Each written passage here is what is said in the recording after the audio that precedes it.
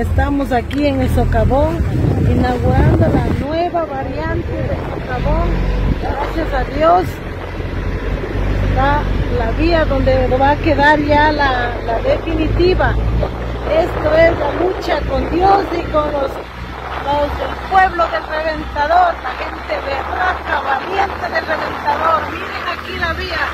Gracias a los que han estado al frente.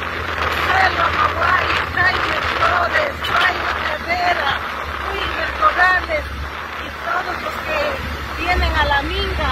Mucha gente que nos ha ayudado, gracias a Dios. Aquí queremos mostrar cómo hemos venido pasando el socavón aquí con el señor que se cortó el pie en el reventador.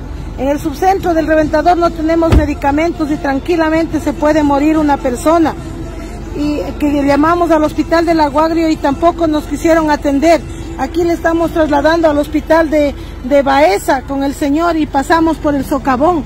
Esa es la realidad de la que vivimos en nuestra parroquia. Esa es la realidad. Por eso pedimos que las autoridades hagan conciencia y miren el sufrimiento de todos, de todos los de la, los, todos los de la parroquia del Reventador. ¿Cómo estamos viviendo? Miren, aquí están las evidencias. Ojalá esto pueda llegar hasta donde el gobierno. No es, no es como dicen, no es como, como hablan. Esta es la realidad nuestra de nuestra parroquia.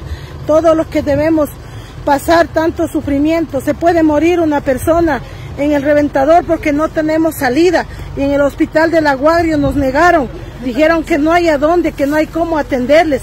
Esa es la realidad.